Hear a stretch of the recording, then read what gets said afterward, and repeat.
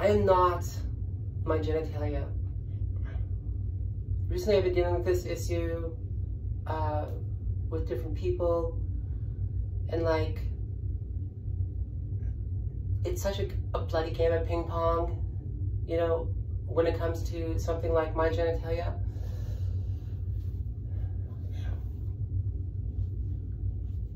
But I'm not my genitalia. None of us. Well, actually, I don't know if that's true. You tell me. I, one, I don't know if, if there's like a lot of hard, fast differences between men and women. A lot of people would disagree with that, but a lot, of, a lot of the difference between men and, men and women is, is something we've created. You know, there's some hard, fast facts. There is there's some gray areas, and there's things that we've created, right? Um, you know, for example, I can be on a dating site. I can be on a dating site talking to guys, and and they'll come on and be like, "Hey, beautiful. Hey, gorgeous. I want to take you on a date. What's your favorite restaurants, whatever, you know, I want to get to know you, right? And I'm like, oh, that's cool. Uh, let's exchange numbers. You know, you exchange numbers, and then they're in, they slip into your DMs, and then you're like, I should tell you, you know, I wasn't. I'm a girl who transitions, right? And they're like, and they have one or two answers to that. Either, you know, like, how much? How much will it cost me to have sex with you? Um, when can we have sex, right? Because it's not like they're not attracted to us, you know, or that is utterly disgusting. You should have put that into your, your dating profile, right? And okay, put that in my dating profile. What do I get? How much to host? When can we have sex? right? Because they have one perception of me, right? They don't want to have a relationship with me. They just want they just want to satisfy a fetish of some sort.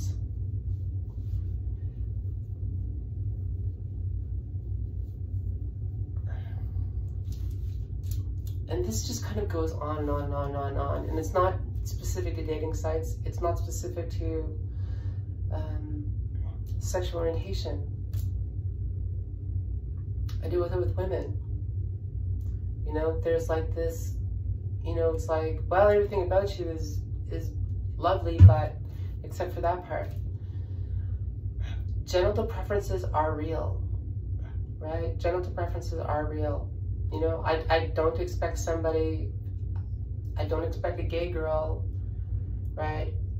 Or a straight girl, or any girl, you know, to like look at me and say, uh, and to, to like have to accept me for whatever reason or a guy or whatever for whatever reason right? We can reject anybody for any reason. Right? I don't like you because you sound like ozzy osbourne. I don't like you because you're this color or that color because your hair is long because your nose is too big because your nose is too short yada yada yada whatever whatever reason you're going to reject somebody for whatever and that is that is their right. You know you're allowed to have a preference. I prefer to date pink people over purple people. That is your choice. Right? Sometimes it's based on experience. You know and sometimes when you know for example gay women might say to me or something like that uh, that's not my cup of tea. I don't want to go there. Right that may be partly because of their history with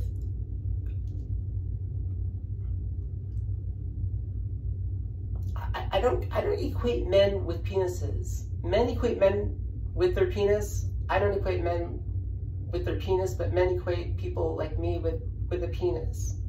Society equates maleness with with a penis. Right? And so if you've been raped by a dude, right?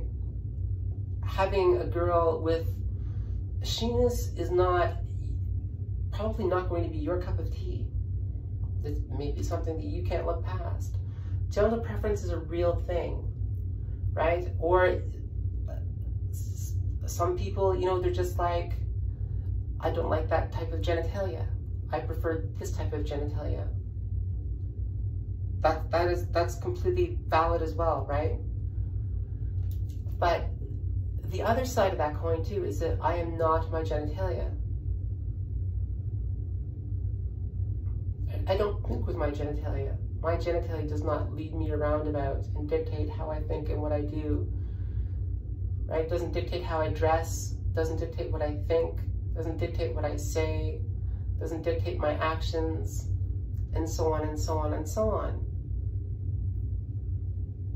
Right? It's really not a part of me. I hate it. It's all I'm working with, but I hate it. You know, I really wish it was not there. You know, but there's pros and cons to to leaving it or removing it. Right? Like functionality. And so it's really like it just it just sucks. It just really sucks. You know, it's it's really not any different than I don't see the difference between saying that I don't want to date you because you're white versus I don't want to date you because of your genitalia. I don't. That doesn't mean that anybody has to date me because I'm, you know, that, that means that people don't have to date me because they don't want to date me because I'm white or they don't want to date me because of my genitalia, whether, whatever type of genitalia I have. You know, have you watched that movie Tangerine? There's this funny scene where this guy picks up this prostitute, this taxi driver picks up this prostitute in an area for uh, girls who've transitioned, you know. He has, he has a particular preference and he gets her in a car and they do the exchange of money and he's like, okay, let's see it because he wants to go south on her, right? And she's like this and he's like, what's that? And she's like, it's a vagina. And he's like, why were you in that area? That area is for, you know, these people. Why are you in that area? You tricked me. Get out. Give my money back. Get out of my car. It, it, it's just, it's a, re, a, reverse form of discrimination. It, it's an aspect of comedy, but it's a reverse form of discrimination, right? And it kind of shows the stupidity of the situation, right? And another thing aspect too is that like what a lot of people don't realize about something like me is that like I think in a male-female dynamic, right? You know, what typically happens, and I'm not saying that this should happen or that this this is what always happens, but how the way it typically goes with straight people, you know, and I know because I've been with straight guys, is that straight men dictate everything in bed. So we're going to do this sexual act, that sexual act, it's going to go like this, we're gonna have supper this time, we're going to go to this movie, we're going to, I want you to wear these clothes, I want you to wear those clothes, yada, yada, yada, on and on, on, right? You know, and with me, it is not like, I mean, A, I'm not a dude, and B, you know, I don't even really want to use this. It's quite confusing to me right? Like it, it is it is a place where I draw pleasure, but it's also a place where I draw self-loathing.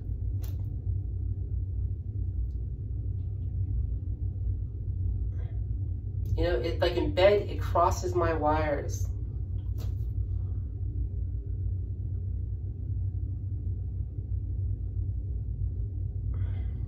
Outside of bed when you when you suffer rejection because of it, it just it just it like really hurts. But that doesn't mean that people aren't allowed to do that.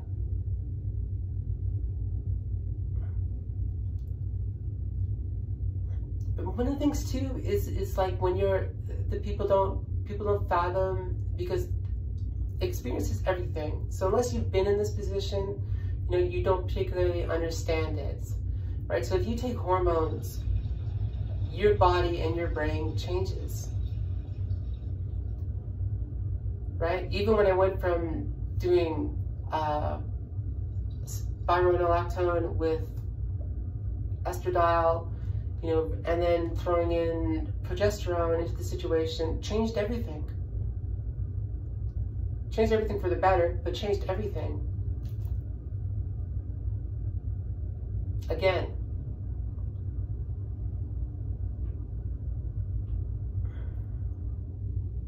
I don't know, and I, you know, and I don't even know that, like, even if I decided to detransition, that that would be a possibility.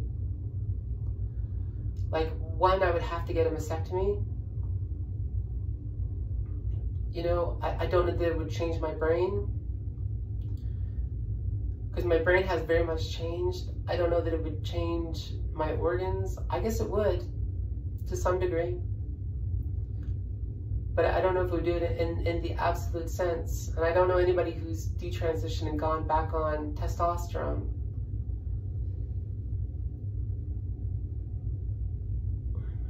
I don't know. But I can't I can't imagine going backwards. And I, I don't know any girls who transition that go backwards. I've never met a single person. I've met people who've not gone forwards out of fear I was one of those people at one point, but I've never gone backwards.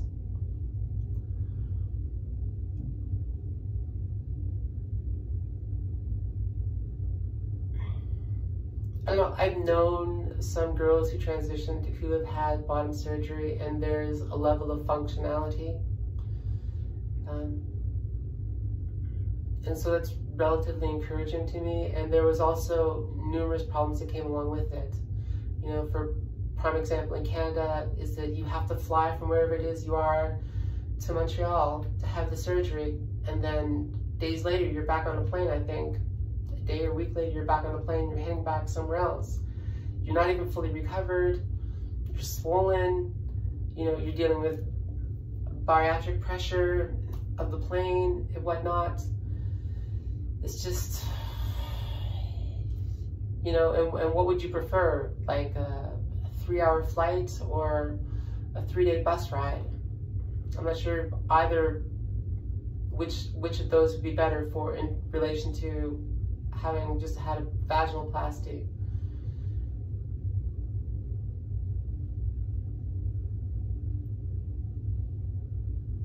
And then if you get an infection or something, you know, then you have to get funding or if you don't heal properly or you need a revision, you have to get funding to get back on a plane, to fly back there, to, to do a revision, and then get back on a plane and fly back to wherever it is you are in this giant country.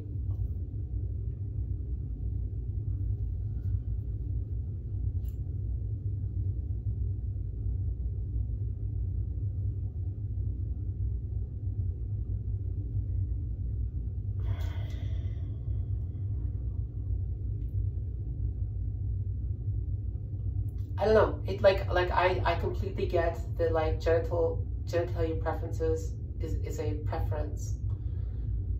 I'm not denying that. You know, I comprehend that. And conversely, it's like if I started pushing back and discriminating against against a lot of people who who don't accept me in that regard because of my genitalia, you know, it would be like like, for example, I end up meeting a lot of people who have addictions. This has been kind of a norm for me. I meet a lot of people who have addictions. And, uh, and a lot of these people have addictions don't want to get caught up with someone like me because it's just further, it just brings down further hatred upon their head. It just brings down more suffering. It, you know, they could get caught up in stigma, right? You know, it's like coming out of the closet whilst in the midst of having uh, a drug addiction, do you think things are going to get better? Maybe. I would say yes. I think a lot of time people deal with like different addictions because they're dealing with different issues in life.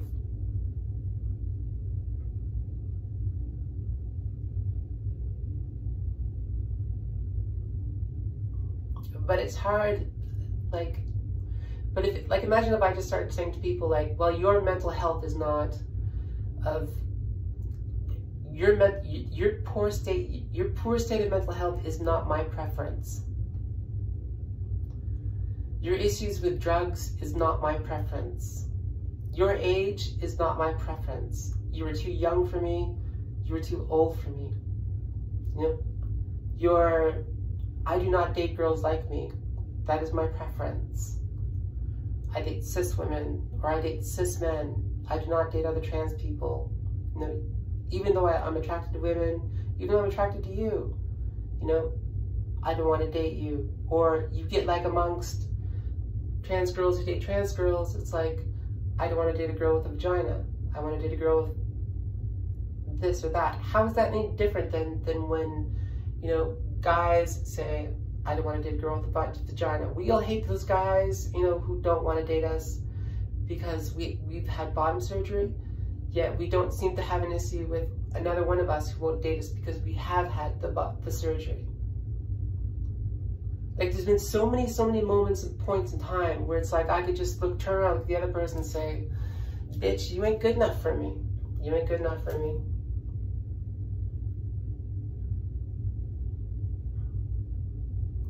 You know, but I got this thing here to keep me humble.